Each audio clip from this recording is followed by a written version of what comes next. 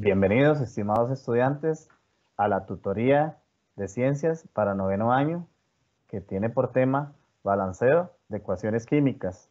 Mi nombre es Isaac Camacho, soy el coordinador de ciencias del CONET y espero que esta tutoría les sea de mucho provecho. Vamos a desarrollar un tema muy particular que generalmente tiene muchas dudas para los estudiantes. Así que comencemos. Siempre es importante, antes de desarrollar todo ejercicio práctico, entender y comprender la teoría que respalda y que me va a permitir desarrollar esos ejercicios. Por eso vamos a explicar en esta tutoría diferentes conceptos relacionados precisamente con el balanceo de ecuaciones químicas. El primer concepto es, ¿qué es una reacción química? Bueno, una reacción química es un proceso, es un proceso, eso es muy importante resaltarlo, en el que una o más sustancias que se llaman reactivos se van a transformar en otras sustancias que se van a denominar productos. Usted se preguntará, ¿qué es un reactivo? ¿Qué es un producto? Lo vamos a ver con más detalle en la próxima diapositiva. Acá tenemos un ejemplo. Una reacción química dijimos que es un proceso, por ejemplo, cuando el sodio reacciona con el oxígeno, se produce un compuesto llamado óxido de sodio. Ahora bien, ¿qué es una ecuación química? Una ecuación química es la representación simbólica por medio de fórmulas químicas de las reacciones químicas y proporciona mucha información. ¿Qué significa esto? Que en una ecuación química vamos a ver números, vamos a ver símbolos, vamos a ver flechas, vamos a ver símbolo de más, entre otras cosas que nos van a permitir obtener mucha información. Observe el siguiente ejemplo. En la reacción química dijimos que cuando el sodio reacciona con el oxígeno produce óxido de sodio. Ese es un ejemplo de una reacción química. Acá tenemos el ejemplo de ecuación. Observe, estimado estudiante, que acá no estamos utilizando palabras, solamente utilizamos números, símbolos de los elementos químicos, el signo de más y flechas. Ahora, en la diapositiva anterior se mencionaron dos conceptos muy importantes, reactivos y productos. En este ejemplo podemos explicar cuáles son esas partes de una ecuación química usted lo puede entender de la siguiente forma. La flecha es la que marca la diferencia entre productos y reactivos. Las sustancias que están del lado izquierdo de la flecha se van a llamar reactivos. Y las sustancias que están del lado derecho de la flecha se van a llamar productos. Además, una ecuación química nos da otras otra información muy importante. Por ejemplo, el número pequeño que está a la par del elemento o del símbolo del elemento se va a llamar subíndice. El número grande que está a la par de cada elemento o compuesto se va a llamar coeficiente estequiométrico. Ese número es muy importante porque es el que nos va a permitir el balanceo de las ecuaciones, que ya lo vamos a explicar con más detalle más adelante. Ahora, la flecha generalmente se significa que se obtiene o que se genera. En este ejemplo concreto, lo que tenemos de una ecuación química es que cuando el oxígeno reacciona con el magnesio, se obtiene óxido de magnesio. Y esa es la diferencia entre una ecuación y una reacción química. Es muy importante, estimado estudiante, que usted domine las partes de una ecuación química. Ahora bien, las reacciones químicas tienen varias clasificaciones. Vamos a explicarlas en detalle. La primera clasificación de las reacciones químicas es según los cambios energéticos. Y aquí es muy importante que usted observe y que se aprenda y que entienda los símbolos que están acá en esta diapositiva. La letra E significa energía, el triángulo significa calor, este símbolo significa electricidad, la luz se representa de esta manera, kilojulios y kilocalorías. Todas son manifestaciones de la energía. Entonces, las reacciones químicas, según los cambios energéticos, se dividen en endotérmicas y exotérmicas. Endo es un concepto que quiere decir hacia adentro y exo quiere decir hacia afuera.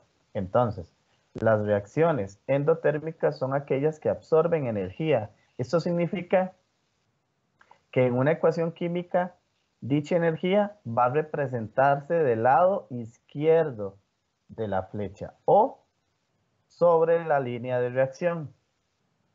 Por ejemplo, observe que en el primer ejercicio la letra E está del lado izquierdo de la flecha y en el segundo ejercicio o en el segundo ejemplo el triángulo está encima de la flecha.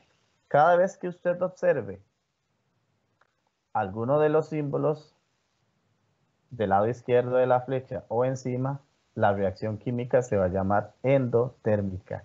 Y por otra parte, si usted observa alguno de esos símbolos del lado derecho, la reacción se va a llamar exotérmica.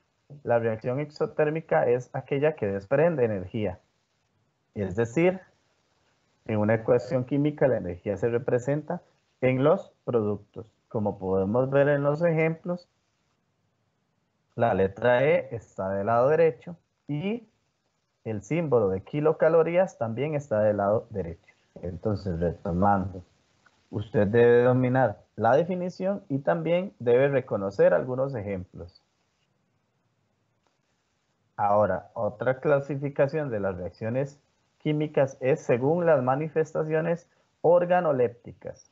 Se van a tener tres diferentes. La número uno se va a clasificar como si desprende un gas. Al presentarse una reacción química, al menos uno de los productos se obtiene en forma gaseosa y en una ecuación química se representa con una flecha para arriba a la par del gas. Entonces, estimado estudiante, usted debe conocer la definición y además identificar algunos ejemplos. En esta primera clasificación es simplemente observar si la flecha está hacia arriba. Cada vez que a usted le den un ejemplo con esa flechita hacia arriba, significa que en la reacción química se desprende un gas y de esta forma usted la clasifica. La segunda clasificación es si forma un precipitado. Al presentarse una reacción química, al menos uno de los productos se obtienen en forma sólida y en una ecuación química se representa con una flecha para abajo a la par del sólido. Entonces, recuerde, la flecha anterior el ejemplo anterior es una flecha hacia arriba y forma un gas o desprende un gas. En este caso la flechita es hacia abajo y va a formar un precipitado. Y la última forma de clasificarlo es si hay un cambio de color. Al presentarse una reacción química, al menos uno de los productos muestra un color diferente al de los reactivos. Usted lo que debe identificar es si en el ejemplo se le indica precisamente que uno de los productos cambió de color, como es el caso que se presenta a continuación. Note, estimado estudiante, que todos estos ejemplos se van a observar siempre en los productos. Ahora bien, explicados los conceptos teóricos, vamos a realizar algunos ejercicios para el balanceo de ecuaciones químicas. Recuerde que una ecuación química generalmente debe cumplir con la ley de la conservación de la materia, que probablemente ya usted la ha estudiado varias veces. Dicha ley dice que la materia no se crea ni se destruye, solo se transforma. Y fue explicada por Anthony Lavoisier y en esta imagen tenemos una explicación. Si usted tiene 20 gramos de una sustancia y la va a reaccionar con 15 gramos de otra sustancia, en general lo que va a obtener son 35 gramos de la combinación de las sustancias. Bien, vamos a ver el primer ejemplo para balancear una ecuación. Recuerde, estimado estudiante, que el balanceo de ecuaciones implica necesariamente escribir un número a la par de cada compuesto o de cada elemento. Dicho número se llama coeficiente estequiométrico. Antes de balancear, usted debe analizar si la ecuación química cumple o no con la ley de la conservación de la materia, de la siguiente manera. Observe que en este caso el oxígeno presenta un número 2 y en este otro caso, en los productos, el oxígeno no tiene ningún número.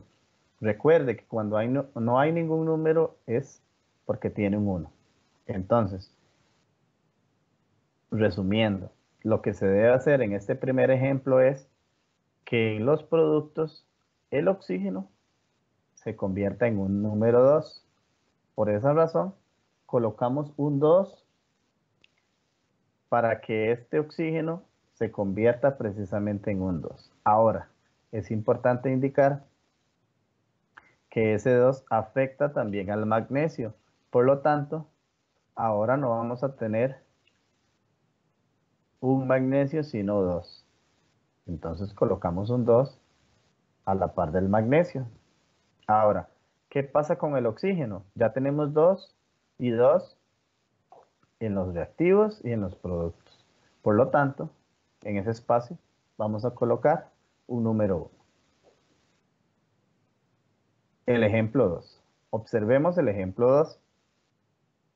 En los productos tenemos el sodio con un número 1, el oxígeno con un número 2 y en los productos tenemos el sodio con un número 2 y el oxígeno con un número 1. ¿Qué se le ocurre, estimado estudiante, para poder balancear el ejemplo 2? Correcto.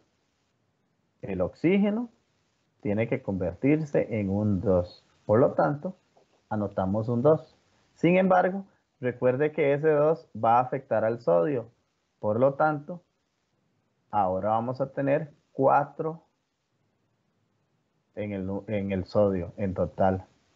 Y aquí del lado de los reactivos solamente tenemos un 1.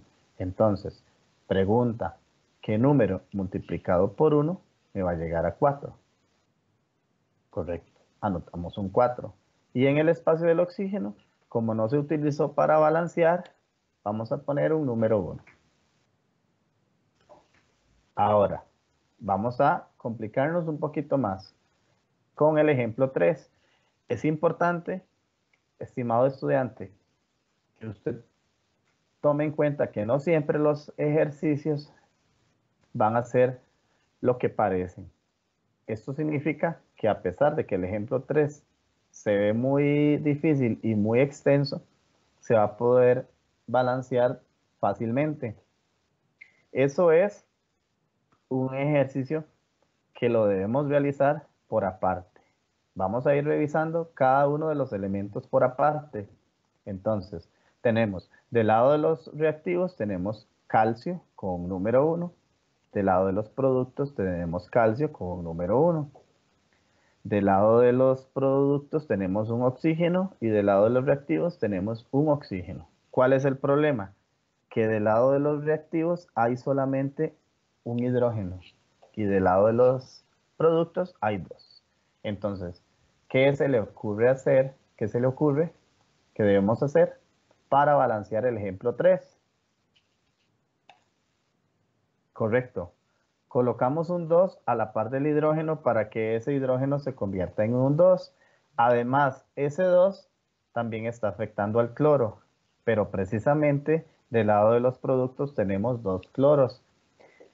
En resumidas cuentas, este ejemplo se puede balancear solamente con colocar ese 2 en ese espacio.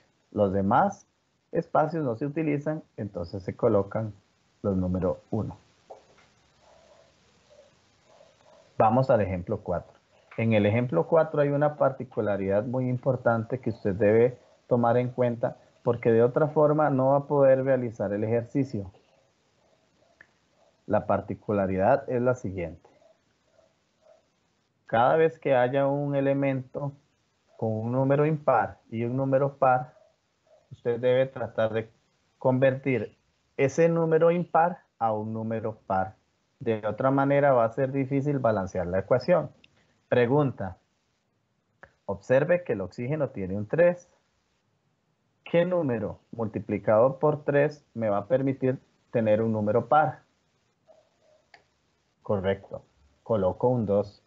De esta manera voy a tener en total 6 oxígenos del lado de los productos. Ahora, usted debe preguntarse, ¿qué número debo colocar a la par del oxígeno para poder llegar a un número 6 también?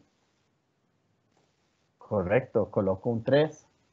Ahora, este 2 que pusimos del lado de los productos también está afectando el potasio y el cloro. Por lo tanto, colocamos un 2 en los reactivos para poder equilibrar o balancear la ecuación. En el ejemplo 5, usted puede observar que hay varios elementos. Al igual que el ejemplo 3, se recomienda que usted vaya revisando el ejercicio por aparte. Esto significa que vaya viendo cada elemento a ver si está balanceado o no está balanceado. Empecemos por el barrio. Observe que no hay ningún número, o sea, tienen uno. Del lado de los reactivos y de los productos tienen uno. El cloro, observe que hay un 2 del lado de los reactivos. Sin embargo, del lado de los productos tienen uno. Entonces, ¿cuál es el primer procedimiento para poder balancear la ecuación? Correcto. Colocamos un 2 en la parte de los productos para poder tener dos cloro. Ahora, seguimos revisando para ver si la ecuación estaba equilibrada o balanceada. Tenemos dos sodios a cada lado. Tenemos un azufre a cada lado y cuatro oxígenos. Por lo tanto, a pesar de que este ejemplo parecía difícil, se puede equilibrar o balancear con un número 2 en la parte de los productos. Y de esta manera podemos equilibrar la ecuación. Muchas gracias por su atención. Espero que estos ejercicios de balanceo les sean de mucho provecho para su estudio. Hasta luego.